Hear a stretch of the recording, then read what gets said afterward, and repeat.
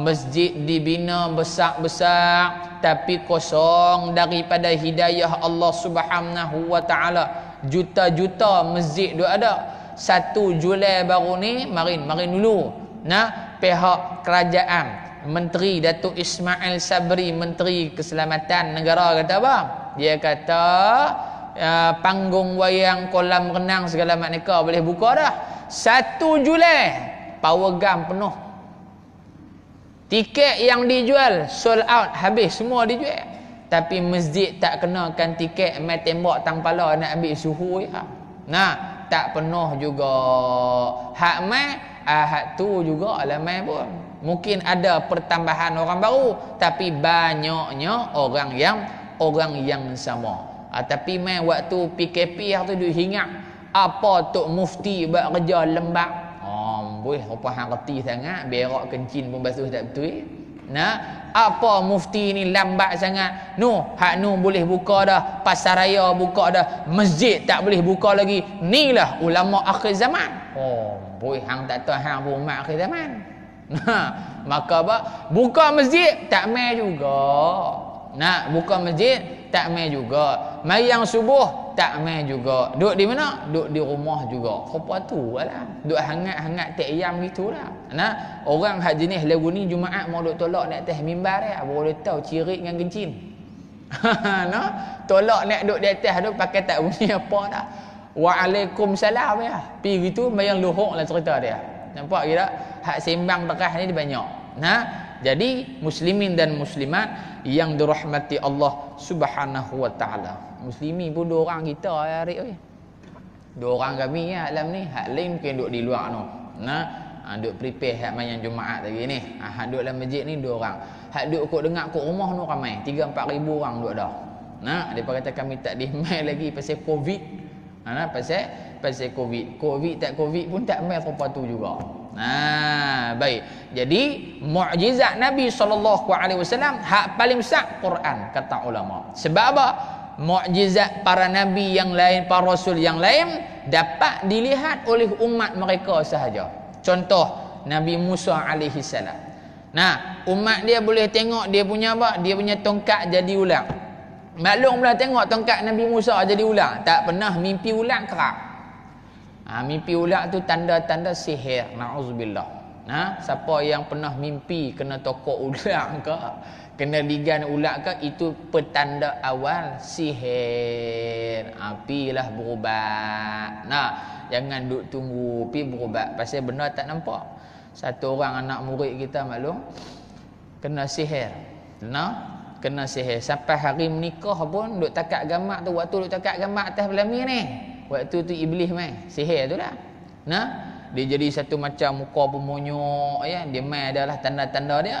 Takut lagi dia dia menyerit akhirnya si suami pun angkat dia bawa masuk dalam bilik.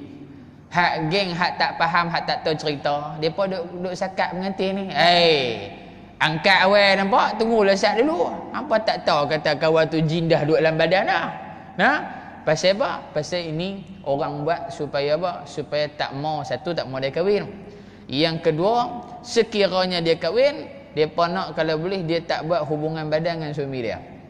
Ha ni kerja orang yang tak beriman. Jadi jaga-jaga maklum kita pun samalah. Eh dia kata umur 60 dah, siapa nak berkenan? Eh dia bukan kira siapa berkenan tak berkenan. Hak kata iblis ni umur 89 boleh berkenan. Nah, ha, jemaah di rumah saya maklum 40 tahun eh 20 tahun tak bersama dengan suami. 20 tahun. Tapi suami dia ni bagus sami'na wa ata'na. Kan? Dan suami dia faham lah kata bini dia ni. Apa kesilapan dia? Kesilapan dia basuh baju pakaian dalam sangkut di luar. Ha ni jaga. Tok-tok guru kita duk pesan baju dalam seluar dalam. Hak kita kan laki kita buhlah rumah. Buhlah rumah bukan duk suruh siap kepala katil tu tak payahlah PC dia ada tempat-tempat hak patut badan. Belakang dapur kita ke yang orang tak nampak. Pasal apa maklum? Bila duk sangkut di luar ni orang kita tengok selak dalam kita memang tak berasa apa. Betul tak? Kita duk tengok selak dalam kita tak berasa apa lah. Tapi orang hak lalu kat dalam kampung tu. Haduk mai jual nu jual ni. Wallahu a'lam. Dia tengok satu macamnya dia pun dah duk tak balik lama dah negara dia dia tengok kawan ni punya seluar dalam eh elok orang ni. Wal, ikat getah pun tak apa lah ikat getah hak betul seluar dalam. Nampak ke tak ni belum? Ha, ni jaga ni jaga. Yang duk jadi banyak hari ni ke anak muda kita. Pasal anak muda pada hari ni dia tak apa nak percaya bab-bab jin ni. Dia tak apa nak percaya bab-bab jin dia percaya tapi dia hmm, tak ada kot seher-seher ni seluar dalam orang tak ambil dah kot. Ha, ada lagi hak duk kenal seluar dalam hak duk ambil bau seluar dalam. Ha, pening pula. Nah dia sidir 10 leh patah balik mai ke dia 2 leh hak 8 lagi dia buat kenang-kenangan. Ha, nah dia buat kenang-kenangan. Ani jaga. al-Quran kena um, merupakan mukjizat Nabi sallallahu alaihi wasallam. Nabi Musa kaum dia saja tengok mukjizat dia kita hanya beriman sahaja dengan dengan mukjizat Nabi Musa alaihi salatu wassalam. Nah, dan juga Nabi Sulaiman alaihi salam boleh bercakap dengan binatang. Binatang faham bahasa dia, dia pun faham bahasa binatang. Boleh perintahkan jin ifrit dengan izin Allah pindahkan istana Raja Balqis, Raja Kisra ketika tu tanpa sekelip mata ya. Celik-celik tu duduk depan mata dah. Izin Allah Ta'ala. Kita pernah tengok? Tak pernah tengok. Tapi beriman apa yang ada pada para rasul itu adalah benar belaka. Nabi Muhammad punya mukjizat. Nah, rasanya dalam seribu mukjizat yang dalam kitab saya sebut tu, eh rasa-rasanya sepuluh pun tak sampai hak kita duk tengok hari ni. Nah, Pernah tengok ke batu duk atas tapak tangan Nabi ni duk ketak-ketak-ketak-ketak? Duk apa? Duk zikir. Subhanallah. Subhanallah. Tak pernah tengok dalam hadis cerita. Benarkan sahaja. Nabi berjalan di Mekah Al-Mukarramah. Nah, tidak ada pokok dan batu kata Sayyiduna Ali melainkan semuanya assalamualaikum ya Rasulullah. Assalamualaikum ya Rasulullah. Assalamualaikum ya Rasulullah. Maklum balik kuliah maghrib malam ni lalu kok tepi kubur pokok kemuja bagi salam. Assalamualaikum maklum. Tak ada jawab salam qalu. Qalu terus. Pasal apa? Terkejut pokok tak nak bagi salam kat kita. Nah, orang pun payah nak bagi salam, tiba-tiba pokok kita lalu, dia bagi salam. Hmm, pakai dak dah, sengak pi itu ya. Nabi Muhammad ini mukjizat baginda Rasul. Semua tu kita tak nak tengok. Tapi yang kekal sehingga ke hari ini adalah Al-Quranul Karim. Dalam Al-Quran dia cerita benda yang telah berlaku, yang sudah berlaku dan yang akan berlaku. Yang akan berlaku. Banyak ada cerita tentang pendustaan, tipu dan sebagainya. Dalam Quran cerita 1400 tahun dulu dah. Lah ni mai dak? Mai. Dalam Quran cerita bab hutang piutang. Nah, kita kata hutang piutang hmm, tak apa ah, halal lah adik beradik. Adik beradik tak adik beradik. Allah Taala sebut ya ayyuhalladzina amanu idza tadayantum bidainin ila ajalin musamman faktubuh. Eh orang-orang beriman kalau mu ada urusan hutang piutang. Nah, faktubuh kena tulis walaupun adik beradik kita apatah lagi kawan-kawan kita apatah lagi orang hak tak ada kena mengena darah dengan kita maka kena kena tulis. Pasal apa? Sebab akan berlaku kerosakan macam-macam duk ada, duk ada mai. Ha, maka sebab itu dalam Al-Quran dia adalah mukjizat yang terbesar yang dikekalkan oleh Allah Subhanahu wa taala. Antaranya dalam Quran dia ada mukjizat dari sudut da al-lughawi, kosakata. Bahasa yang Allah Taala guna dalam Al-Quran adalah bahasa yang tidak ada seorang pun mampu menandingi kehebatan bahasa Al-Quran. Walaupun dia orang Arab. Walaupun dia orang Arab. Dalam Quran Allah Ta'ala menggunakan kalimah Al-Ard. Kan? Allahul ladhi khalaqas samawati wal ard. As-samawat adalah plural jamak. Dia punya singular dia as-sama satu langit tapi al-ard Allah Taala sebut al-ard jamak bagi al-ard adalah al-aradin bumi bumi bumi bu, bumi. Tapi sebab apa Allah Subhanahu wa taala sebut kalimah as-samawat dalam bentuk plural dalam uh, kalimah yang banyak adapun al-ard dalam bentuk singular. Ha, ngaji bahasa Inggeris pula pagi ni nah dari sudut bahasa. Sebab apa? Baik yang pertama kita lepas tak lagi langit yang pertama. Maksudnya langit pertama sampai lagi kita ni. Kita duduk bawah ni nampak dah langit pertama, tak nampak. Maka Allah Ta'ala sebut kalimah as-samawat tu tujuh petala langit nak menunjukkan langit tu sungguh lu luah. Langit tu sungguh sungguh luah dan kita tak mampu nak nak sampai. Kapal terbang pun tak hampir lagi langit pertama tu pun berasa tinggi tak tengah dah. Kan? Ha, naik kapal terbang dengan mak saya, Allahu Rabbi. Rasa macam kapal terbang nak luruh dah. Nah, naik pi ke Jordan. Ha, tiga tu lepas. Kami naik malak. Naik Jordan Airline. Ha, pi ziarah Jordan Palestin. Naik sampai dua tiga jam lagi nak sampai Amman di Jordan tu. Hujan lebat. Kilat kira dekat lah duduk di atas tu. Lepas tu, kapal terbang. Guduk, guduk, guduk, guduk, guduk, guduk, guduk, guduk, guduk. Oh, duduk lagu tu kat setengah jam. Hak mak ni pegang kita. Asyhadu alla. Hak kita pun hak mutawih ni pun jadi kecut perut dah. La asyhadu alla ilaha illallah. Adik, tak sampai dah nampak gaya dah. Allahu rabbi. Waktu tu tak tu nak habaq dah. Duk kata mampu kekeng dah aku malam ni nampak gaya ni. Nah, hak jemaah lain tu duk relax. Tapi muka ketak tu nampak. Jangan duk bohong. Duk buat muka relax apa. Kan? Hak mak kita ni dia pegang. Adik astagfirullahalazim adik. Macam mana ni? Tak sampai dah. Dia, dia buat ketak ni. Dia hinggut, hinggut, hinggut, hinggut badan kita. Subhanallah. Nah, tak sampai lagi pun langit pertama. Maka Allah sebut dalam bentuk plural. Menunjukkan apa? Langit tu memang luas sungguh. Hakikat kita tengok memang tak sampai pun. Satu. Maka itu sebab digunakan as-samawat. Tujuh. Petala langit. Al-ar Allah Ta'ala tak sebut. Tujuh pa al-ara Allahu alladhi khalaqas samawati wal aradin. Patutnya kena sebut gitulah. Tapi tak sebut al-ar saja satu satu bumi saja pasal apa? Ulama mengatakan kita ni memang duduk atas permukaan bumi dah. Okey? Dan apa yang Allah Ta'ala sebut tu memang benda hak kita tengok depan mata kepala kita Seolah-olah bumi ni tujuh lapis tu macam selapis ya. Macam duduk dekat lah selapis gitu ya. Hakikatnya tak duduk punya tu macam langit jugalah. Contoh.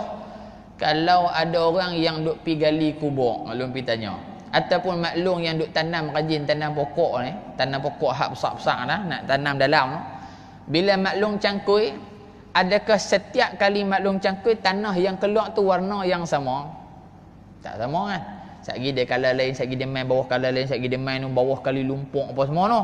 Maka Allah Taala sebut tu al-aradin begitulah permukaan bumi. Berlapis berlapis berlapis berlapis tapi hakikatnya hak kita duk korek tu sampai dak lagi permukaan hak pertama tu. Tak sampai lagi tapi Allah nak abang kita begitulah wujudnya lapisan bu lapisan bumi. Supaya kita oh betul ya. Kalau hak dekat tanah macam tu pun 2 3 4 lapis bagaimana tujuh permukaan bumi ke bawah jauh lebih lebih hebat daripada tu. Ha ni mukjizat dari sudut penggunaan kuasa kata yang kedua mukjizat dari sudut apa? Dari sudut ilmu ada dalam Quran belaka.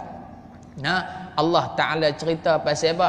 Pasal innallaha la yastahi an yadriba mathalan ma ba'udah. Allah cerita tentang ba'udah. Ba'udah ni nyamuk. Pasal apa nyamuk? Nah pasal apa nyamuk? Sedangkan benda-benda lain ada lagi lebih besar daripada nyamuk tetapi Allah Ta'ala menggunakan contoh yang paling kecil yang kita boleh tengok lah contoh yang paling kecil aku buat maka kaji tengok. Bila mana ulama kaji subhanallah nyamuk ni mata dia sekian-sekian. Dia ada fungsi dia. Kaki nyamuk setiap kaki nyamuk dia ada macam bulu-bulu dia tu. Berapa bilangan dia? Dan nyamuk ni juga subhanallah tabarakallah kalau dia tak sedut darah nampak kecil ya tapi bila dia sedut darah tengok perut dia besar mana Nampak tak? Maka hebatnya Allah Subhanahu Wa Taala cerita bab nyamuk, maka orang akan kaji pasal apa nyamuk? Apa kelebihan nyamuk? Apa kekurangan? Apa kekurangan nyamuk? Ini hebat dari sudut ilmu. Dari sudut sains dalam Quran sebut wal jibala autada dan gunung ganang itu adalah pasak bagi bumi. Nah, bumi kalau tak ada gunung ganang dia terhoyong-hayang. Ni hikmah jadinya gunung. Sebab tu bila mana adanya apa dia kita kata orang duk tarah bukit dan sebagainya ada kesan dia. Kesan yang paling awal banjir kilat kalau hujan ke apa ke menyebabkan musibah yang besar bayangkan kalau di pi gondoi semua tak ada langsung bukit atas muka bumi ni maka jauh lebih besarlah ha, kesan buruk dia wal jibala autada dan gunung ganang itu adalah autada pasak baik bila kata autak di sini maklum makna kata bawah daripada tanah uh, yang kita ada nampak ada lagi pasak dia contoh contoh Maklum pi pasal malam. Ini dalam Quran cerita. Maklum pi pasal malam tengok orang menega yang gerai dia besar. Selalunya orang menega, menega kasut orang pasal malam hak menega kasut dia akan gerai dia besar. Dia punya kain dia tu besar. Dia akan tarik kain rentang dia 20 kaki boleh jadi 15 kaki boleh besar pada orang. Okey. Oh, bila dia tarik tu dia akan ada apa tali betul eh? Tali dia nak bagi cekang ah. Bila ada tali tang bawah sekali tu dia akan buat apa? Dia akan paku. Bagi ma? Bagi masuk paku tu. Maka paku itu nama dia autad. Autad ni makna apa? Misalnya kata ni pen, ni paku. Ah ni tanah. Kalau pakai tok atas ni dia tak panggil autad. Hal ni nak bagi nak melipat nama dia. Nah, tapi kalau dia paku masuk dalam, lekat kuat tak? Lekat kuat. Maka dia panggil autad. Bumi dia ah, lang apa dia bukit dia adalah autad bagi bumi. Nah, sebab itu ulama kata kalau tak ada bukit atas muka bumi ni, nescaya rumah payah nak naik dalam malu. Bukit duduk, bumi duduk lagu tu. Mayang tak gini Jumaat duduk lagu tu. Pasal apa? Bumi bukit tak ada. Nah, maklum tak lagi buat rumah, buat rumah. Elok kawan tubuh bata dah suka elok dah. Sat balik main rumah, rumah duduk kat tu. Dapak terkalih kat tu, tak lagi dapak terkalih duduk kat atas. Pasal apa? Tak ada, tak ada autan. Baik. Satu. Yang kedua, bila mana dikaji tentang bukit ni maklum, terutamanya di tengah laut kalau kita pergi kan, Pulau Pinang ke apa ke, ada gunung dia, bukit dia. Gunung Jerai kan misalnya. Rupanya maklum, yang kita duk nampak di atas tu, di atas tu, dia tidak akan kukuh seperti mana tu sekiranya bawah dia tak ada apa tak ada pasal ha, maka disyarahkan oleh guru kita besar mana bukit yang ada hak kita nampak no di atas no maka besar itulah akak dia di bawah faham tak? Macam mana gunung yang besar tu nak kemah-kemah kukuh macam tu? Kalau bawah dia akak berenik-renik saja sudah semesti bawah akak dia cukup ke cukup kemah. Gunung Everest maklum bayang tengok paling tinggi di dunia. Berapa dia punya dalam dia punya akak hak di dalam tu? Hak ni kerja Allah Subhanahu Wa Taala bila mana dikaji oleh ha, saintis maka mereka jumpa oh benar yang Quran sebut tu be, betul belaka ha ni yang dikata mukjizat al-Quran dari sudut ilmu. Yang ketiga mukjizat al-Quran dari sudut apa? Al-khabar berita-berita yang disampaikan di dalam al-Quran apa yang Quran sebut maklum tidak ada dalam mana-mana buku yang lain. Sekiranya ada sudah semestinya diambil daripada Al-Quran. Nah ang malah ulama hebat tara mana pun dia cerita di dalam neraka ada sekian sekian sekian ambilan dia semua Quran belaka nah Al-Quran menceritakan penciptaan Nabi Allah Adam alaihi salatu wassalam Al-Quran cerita pula bagaimana keadaan orang-orang yang terdahulu dibinasakan oleh Allah Subhanahu wa taala. Al-Quran cerita benda-benda yang ghaib, benda-benda yang tak nampak, benda yang akan berlaku, benda yang nu duduk dalam kubur nak jadi apa, di hari akhirat nak jadi apa, duduk dalam syurga dapat apa, azab apa dalam cerita belaka dalam Quran. Tidak ada buku yang cerita spesifik seperti mana Al-Quranul Karim. Ini ha, kelebihan Al-Quran mu'jizat. Ha, mu'jizat. Lagi mu'jizat Al-Quran inna nahnu nazzalna dzikra wa inna lahu lahafizun. Allah pelihara Al-Quran. Ha, Allah Subhanahu wa taala memelihara Al-Quran. Pasal apa maklum? Allah pelihara Al-Quran. Ada orang tanya, dia kata ustaz Taurah, Injil, Zabur pasal apa? Di adakah dia tak benar? Tidak. Adakah Allah Taala tak pelihara Taurah, Zabur dan juga Injil sedangkan Al-Quran saja dia pelihara? Oh betul juga. Kan? Jadi apa jawapan dia? ulama mengatakan Allah Subhanahu wa taala bukan tak jaga-jaga tetapi sunnatullah memang sedemikian rupa. Taurat, Zabur dan juga Injil ini akan diselewing satu masa ke satu masa satu masa ke satu sebab apa? Selagi mana tak sampai Muhammad maka selagi itu diselewing diselewing diselewing diselewing faham tak? Bila mana diselewing naik nabi lain perbetul balik. Bila selewing naik nabi lain di perbetul balik. Tetapi bila mai al-Quran tidak ada penyelewengan siapa selewing dapat ditek siap dah Dapat? Ditek siap dah. Sebab apa? Ulama jawab, sekiranya Al-Quran itu diseleweng seperti mana Bible, Injil, Zabur, Taurat yang ada sebelum-sebelum ni, macam hari ni duk ada depa duk depa duk olah sana sini. Ya, ia adalah bukti Muhammad bukan rasul akhir zaman. Faham tak ulun?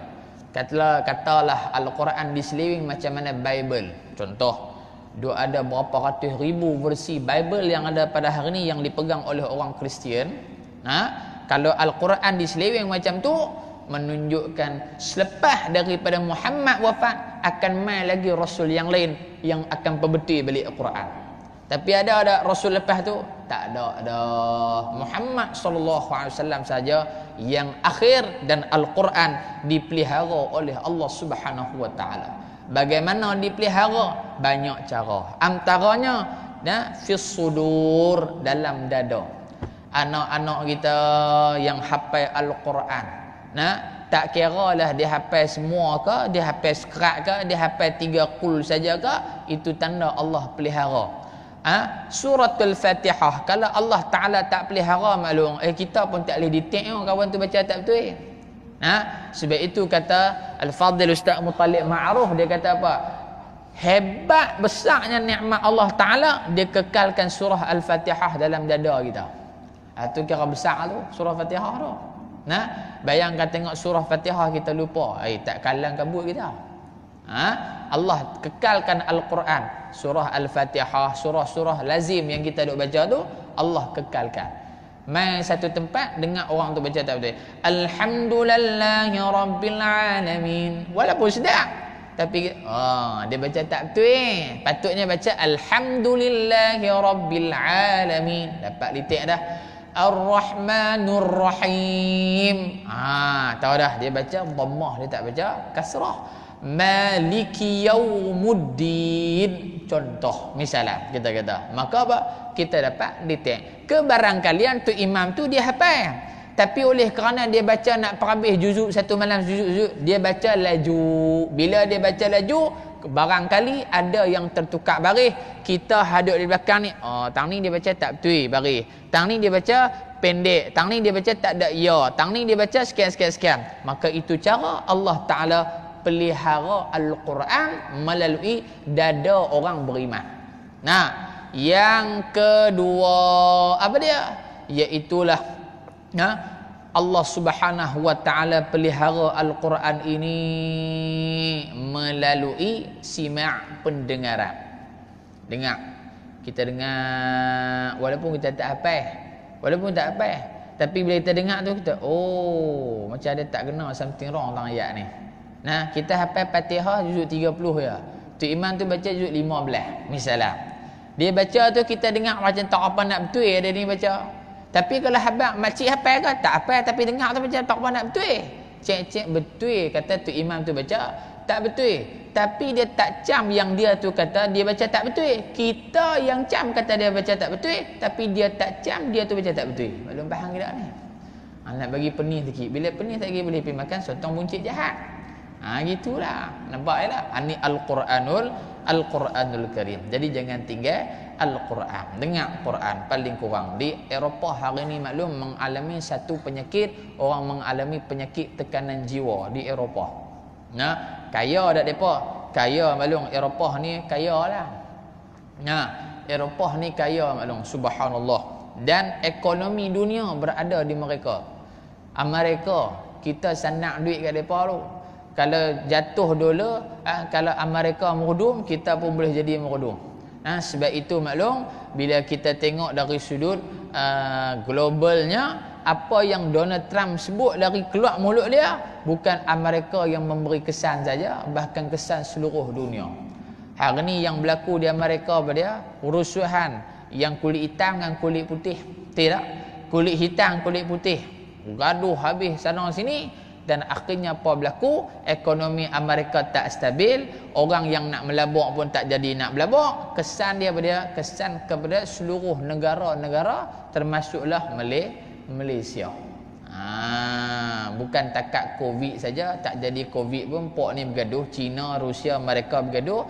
Jahanam habis ekonomi. Ha, maka sebab itu muslimin dan muslimat yang dirahmati oleh Allah Subhanahu wa taala sekalian di uh, Eropah sana tu krisis tekanan jiwa sangat-sangat hebat. Jadi macam mana depa nak buat? Maka disebutkan, ha, diceritakan oleh guru kita apa melong di di di belah Eropah sana ada hospital yang menyediakan satu ruang untuk rawatan jiwa. Sehingga kan doktor hospital tu pun pergi duduk tang kali. Patutnya orang mai ke dia, dia kena rawat. Ni dia dia pun kena sekali kena rawat gak. Ha, doktor sakit jiwa plus sakit jiwa. Ha, dua kali lah sakit jiwa dia tu. Kan? Ha, sakit jiwa kuasa dua. Akhirnya, dia main duduk di satu, kita kata macam orang hak penat, pergi duduk gas lah. Nah, dia duduk di satu ruang tu, semua hak yang stres eh. Hak kerja tak siap, hak macam-macam lah. Dia akan bagi pasang apa di telinga ni dengar Quran. Dia bagi dengar Quran ni, pok ni kan faham apa pun. Depa kapiak tak faham apa pun. Bukan tekat kapiak hak Islam pun tak faham, tambah hak kapiak telah lagi lah. Nah, dengar ya. Tapi dia punya getaran, dia punya apa orang panggil apa? Positif dia punya tu, subhanallah, menenangkan jiwa. Menenangkan, menenangkan jiwa, maka depa pun buatlah bancian ha, daripada tahun ke tahun jumlah orang yang kena tekanan jiwa selepas daripada rawatan dengan Quran semakin uh, hari semakin berku semakin berkurang. Dia faham ke tak faham Quran? Dia tak faham.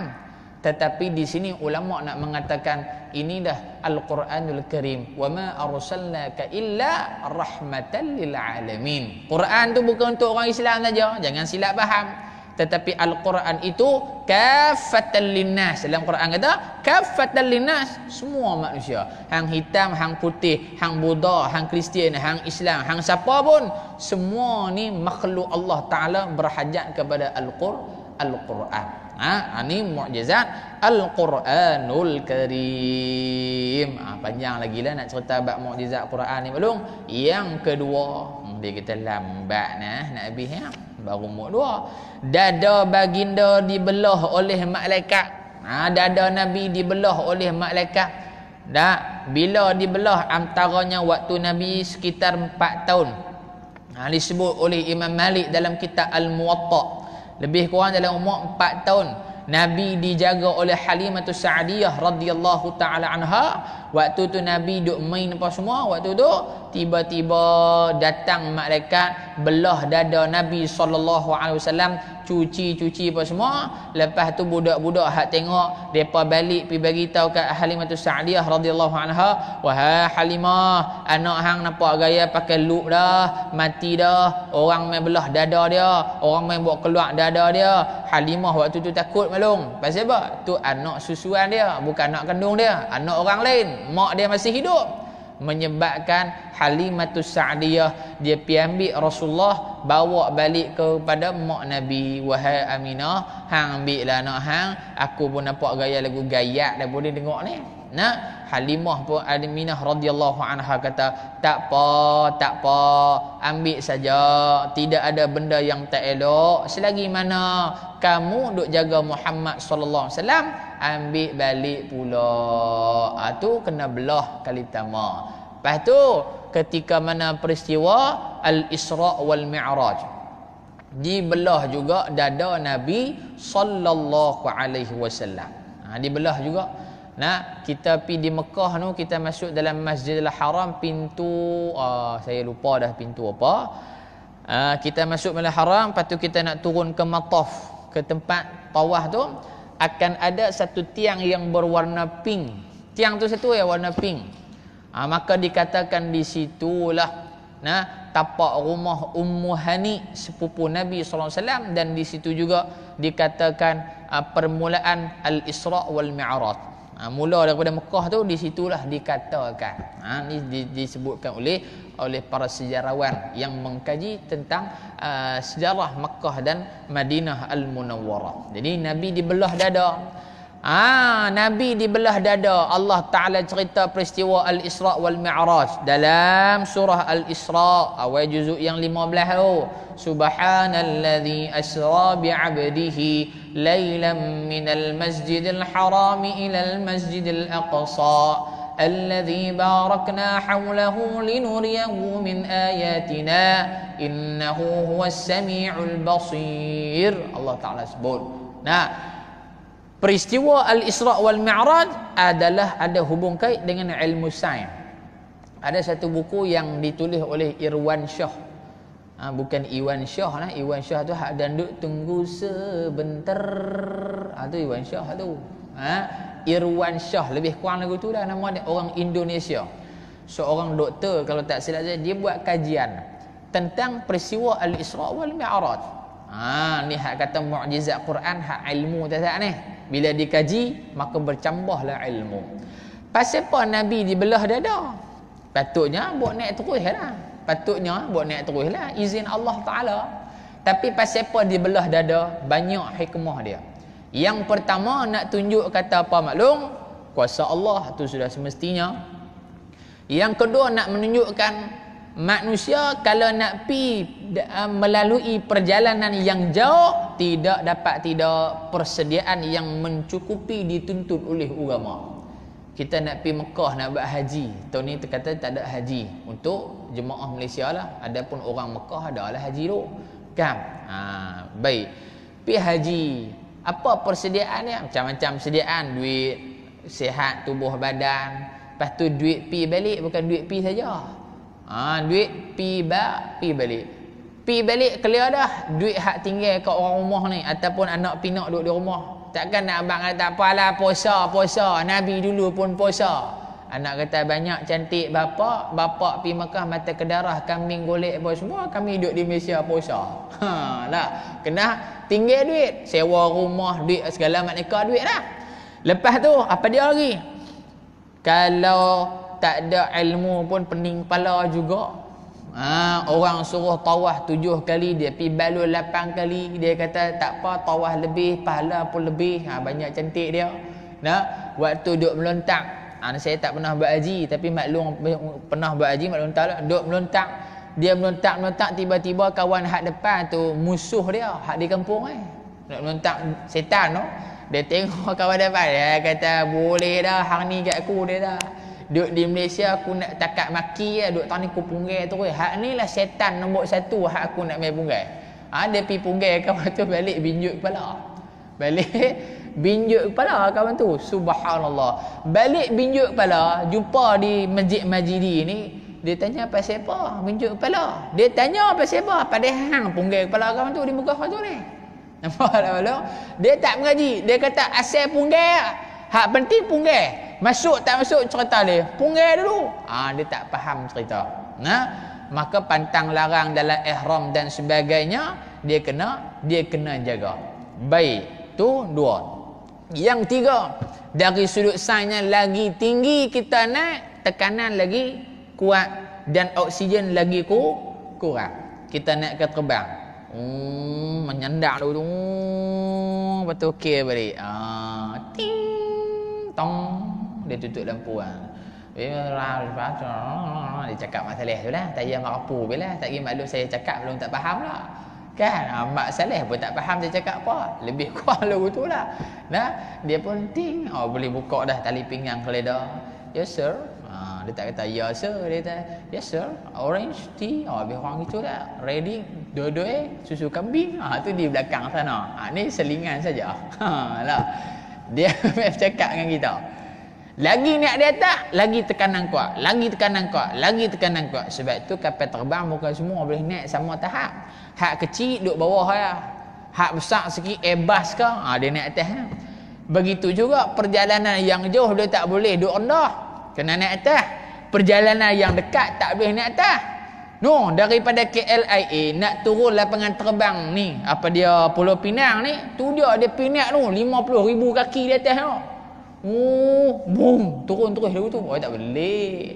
Dia mesti ada dia punya sukatan dia. Ha, ni ilmu hak bawa kapal terbang. Baik. Hikmah dia apa maklum? Dibelah dada nak ajak kat kita pentingnya ilmu sains dan aero angkasa dikaji ni ni dalam dalam Quran cerita pendek ya. Subhanalladzi asra bi 'abdihi lailan minal masjidil haram ila al masjidil aqsa alladzi barakna hawlahu linuriyahu min ayatina innahu huwas samiul basir. Cerita sikit ya. Tapi bila dikaji oleh orang yang pakar dalam bidang aero angkasa dan doktor-doktor perubatan rupanya maklum apa? Kita punya ni dada kita ni bila mana naik perlukan rawatan yang secukupnya Nu Dr. Muzaffar Syukur tu. Nu nak naik mana apa? Naik dengan soyuh pergi mana hala tu ni kan. Nampak tak? Berapa lama dia punya persediaan dia. Sagi pi tang nu, sagi pi duk tang ni, sagi cek nu, cek ni, cek nu. Maka Nabi SAW ajak Bairu Angkasa ni lama dah. Lama dah cerita ni. Maka ini mukjizat Al-Quran. Nampak? Yang seterusnya menunjukkan Nabi Muhammad punya tubuh badan tak sama macam tubuh badan orang biasa macam kita. Nabi turun mai bawah, Nabi tak mengadu ketak dada tolong buat pergi klinik tak makan Panadol ah tak ada tak ada tak ada tak ada. Itu bukan Nabi wasallam. Dan Nabi nak atas sana nak maklum nak ajak kat kita teknologi udara paling hebat atas muka bumi adalah buruk. Borak ada enjin, tak ada enjin. Borak ada enjin, tak ada enjin. Ha? 737, tak. Boeing 747, tak. Ni pun tak ada, tak ada nilai punya ni, borak ni. Naik dalam keadaan Nabi SAW diiringi dua malaikat alaihi salam. Nabi tak pakai apa, pakai pakaian macam mana atas muka bumi saja kita nak kapal terbang dengan pakai kuk nu, pakai kuk ni, pakai kuk nu, apa apa terkencing dengkai ni ceritanya, apa nak buka tali pinggang tu payah. Subhanallah. Nabi naik terus saja. Menunjukkan apa? Tubuh badan Nabi ni kuat, tak ada luka-luka, calak pun. Cuba kita tengok naik motor dekat lagu mana. Maklum bawa motor, bukan maklum bawa motor, Pak Long bawa motor. Maklum duduk di belakang. Motor R1.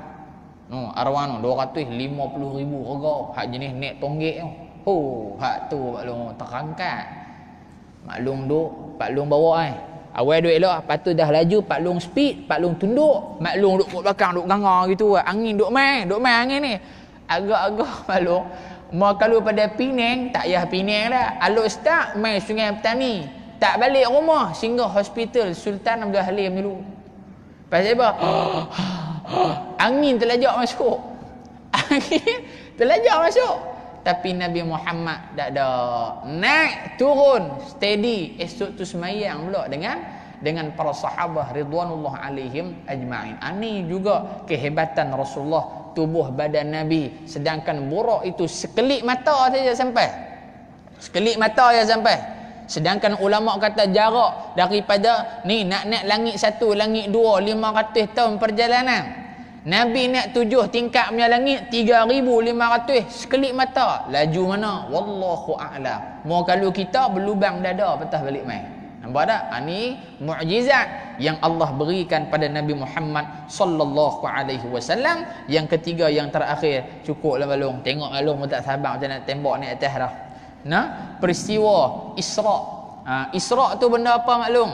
Isra adalah perjalanan daripada Mekah ke Masjid Al-Aqsa ke Palestin dipanggil Isra dan Mi'raj Mi'raj daripada Masjid Aqsa ke Sidratil Muntaha ha? ulama kata Al-Isra rihlatul ardiyah perjalanan darat daripada Masjid Haram ke Masjid Aqsa dua-dua ni muka bumi pasal apa Masjid Aqsa tak pilih Masjid Al-Majidi Subhanalladzi asra bi'abdihi laylan min al-masjidil haram ila al-masjidil majidi. Ah tak ada itu. Jangan buat merepek gitu. Nah, pasal apa Masjid Al-Aqsa? Ulama mengatakan, ha, kita tanya kepada orang-orang Palestin yang duk bawa pelancong apa semua, mereka kata tanah Al-Aqsa adalah tanah yang paling tinggi di muka bumi dan dekat dengan langit Allah Subhanahu wa taala. tapi dekat pun bukan boleh duduk ragas naik dengan tangga maknanya maksud kata dari sudut tempat lain lebih jauh jarak dia dengan dengan langit Allah maka itu juga hikmah pilih Al-Aqsa. Yang kedua nak menzahirkan Al-Aqsa adalah kiblat um, manusia yang pertama sebelum berpindah ke ke Kaabah Al-Musyarrafah nah ha gitu. Mi'raj Masjid Aqsa Sidratil Muntaha. Yang tidak berlaku kepada para nabi dan rasul yang lain. Wallahu a'lam bissawab. Panjang umur jumpa pula pada bulan hadapan insya-Allah. Yang baik daripada Allah yang terkurang terkasak tu mohon ampun dan maaf. Panjang umur kita jumpa lagi maklum di belakang tu maklum saya ada bawa dua tabung. Hmm, kami tahu dah ustaz ni tak ada kerja tabung lah. tiga bulan dia tak kutip tabung. Ha, malam hari ni kutip pula. Bukan hak saya punya. Tabung wakaf. Nah kita baru ada 25 ribu kita nak beli tanah maklum untuk buat parking surau. Di kampung Pelek tu parking surau jemaah mai saya habaq lah sebelum ni. Kita dapat baru 25 ribu kita perlukan lagi 105 ribu. Nah jadi di belakang tu ada dua tabung. Satu tabung kebajikan yang kedua tabung khairat. Nah tabung kebajikan tu untuk apa? Bayar bil elektrik untuk makan minum pelajar dan sebagainya. Tu ikut sekolah maklum nak buh berapa pun tabung wakah ni maklum nak buh banyak mana pun tak apa nah kita nak bagi cepat selesai cepat kita bayar dan cepat kita nak tolak tanah. Pasal dia tanah merah kita nak bubuh tar. Nak buat bagi elok orang nak parking main mengaji maklum. Jadi siapa-siapa yang nak berwakaf boleh masuk terus dalam tabung tu ya. Ha? boleh buat masuk terus dalam tabung. Berapa ringgit? Berapa ringgit pun tak apa buh dompet terus pun tak apa tak ada masalah. Nah ada yang nak bagi rantai mah ke apa ke dia kata cemuh dia pakai rantai mah nak pakai rantai gerek pula tak jadi masalah apa. Boleh mai jumpa saya kita kita kira bagi jadi insya-Allah. Nah yang kedua maklum abang kita di belakang dia bawa jualan. Abang kita lah ada main van tu macam biasa lah maklum. Tengok macam-macam jualan ada tolong beli sah tolong bagi habis eh bukan tolong beli saja tolong bagi habis terus. Ha, nah Ha, yang ketiga maklum saya pun ada bawa juga. Dodo derian, dodo biasa. Derian udang merah nak maklum. Bukan udang mas ha, derian hak masam buat terboyak tu. Tak. Derian udang merah dan juga susu kambing. Susu kambing tu dia keras lagi saya boleh dalam freezer. Kambing tak bawa mai. Susu saja mai. Nah, jadi susu kambing fresh punya ada perasa dia jadi maklum boleh tengok di belakang tu tengok dan belilah bukan tengok saja tengok dah dan beli insya-Allah. Nak beli pun tak apa tak beli pun tak apa. Tak jadi masalah. Jadi mudah-mudahan Allah taala memberkati pertemuan kita pada pagi ini insya-Allah dan sebar-sebarkan kepada kawan-kawan kita mungkin yang ada yang nak mai tapi ada uh, kerja lain jadi kita sebarkan kepada mereka mudah-mudahan apa yang kita dapat hari ini ada manfaat. Amal dong tulis bila ada setengah kawan kita dia main kuliah dia tulis-tulis tulis. Sekali dia buat nota dan tak dalam grup. Tak dalam grup. Ah, pengajian kuliah duha hari ini Ustaz Aiman Al-Hansami lebih orang gitu dah. Dia tulis gitu. Kan? Hak pertama makna mukjizat. Yang kedua makna karamah. Yang tiga makna irhas. Yang keempat makna mana-mana paling kurang maklum tulis tu save dalam dalam note handphone tu. Kan? paling kurang ba kita share dengan orang pun ada hak kita punya simpanan pun ada juga ha, in case kata meninggal contoh orang pun duk tengok lah tak ada dah mesej kat ayah ada nama kat ayah ni nah ha, bukan kat ayah sinilah Afrika Selatan tu tak ada dah kat ayah ni meninggal dah kau tiap-tiap pagi dia punya mesej masuk cerita tentang Rasulullah cerita tentang Nabi cerita tentang sahabat cerita tentang ni cerita tentang ni ada orang hak jenis dulu tu ada orang hak tiap-tiap hari kerja ada update resipi masakan ni. Mata kedarah ni tak habis-habis. Tiap-tiap pagi. Hari ni kita masak sotong buncit. Ha, esok masak uh, sotong beranak. Lusa masak ketam lembut. Tulak masak uh, ketam keras. Segala mak nikah. Dia kerja masak ya. Tak apalah. Bagus juga. Apa yang penting yang kita dapat yang kita sebarkan benda yang bermanfaat sama ada dunia ataupun ataupun akhirat. Wallahu a'lam bissawab. Bismillahirrahmanirrahim. Alhamdulillahirabbil alamin. Wassalatu wassalamu ala rasulillahil amin wa ala alihi wa sahbihi ajma'in. Allahumma ja'alna min ahli syafaati nabiyyika محمد صلى الله عليه وسلم. اللهم أعنا على ذكرك وشكرك وحسن عبادتك. وصلى الله على سيدنا محمد. والحمد لله رب العالمين. تقبل الله منكم. والسلام عليكم ورحمة الله وبركاته.